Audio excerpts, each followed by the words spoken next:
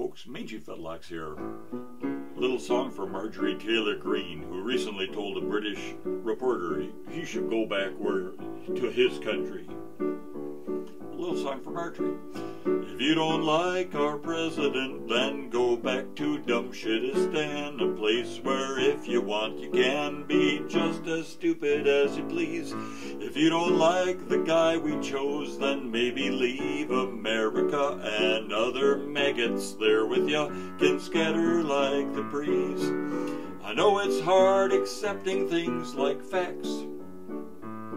I know it's hard to try to use your brain.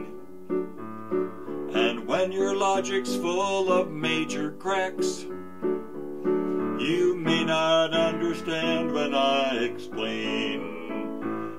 If you don't like our president, then maybe take the former and move to some place warmer. The place that I'd suggest you go is hell.